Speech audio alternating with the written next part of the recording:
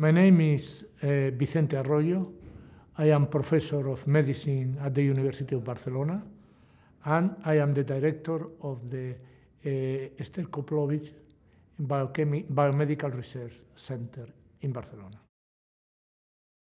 The article uh, deals with, with, uh, with a new syndrome that occurs in patients with cirrhosis, that it is called acute on chronic liver failure, and that it is characterized by acute decompensation of cirrhosis associated to organ failure and an extremely high uh, mortality rate.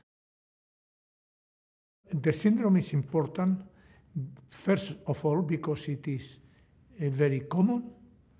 Uh, it is present in 30% of patients who are admitted to hospital with decompensated cirrhosis. Also because it is associated to a high mortality rate, as I already mentioned. And finally, because it is related to a systemic inflammation that I think it a complication of cirrhosis that will be very important in the future. We know since many years ago that cirrhotic patients develop uh, organ failure. But you know, the people consider that these organ failure were unrelated between themselves. Therefore, we know that patients uh, uh, are predisposed to develop brain failure, that patients are predisposed to renal failure, to liver failure, and to failure of other organs or systems. But the interesting thing is that for the first time we realize that all these mm, failures, all the organ failures, uh, are not independent uh, problems in patients with cirrhosis, but rather they uh, are develop, they are developing as a, common as a consequence of a common problem. And this problem is a systemic inflammation, which is mainly related to uh, uh, bacterial infections or to the translocation of bacterial products from the intestinal lumen to the systemic circulation. Therefore, it's not a problem of, of uh,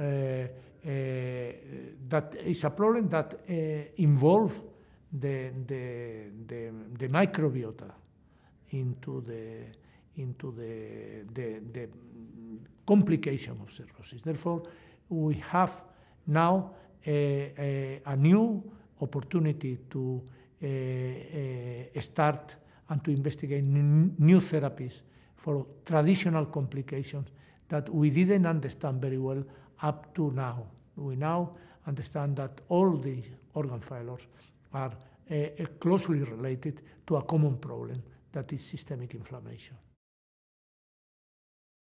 It will completely change uh, uh, our concept of cirrhosis. It will change our concept of, of cirrhosis uh, from a pathophysiological point of view, from a prognostic point of view, and also from a therapeutic point of view. Uh, this is traditionally patients with organ failure were considered to, to be uh, terminal patients who will die uh, independently of the treatment we gave. We now know that these patients are very sick because they have a problem that is reversible. And therefore, we should look for treatments that could, could prevent systemic inflammation and that could keep these patients living for a long period of time. And also, you know, these patients were not transplanted because they considered they were terminal and they will not support the transplant.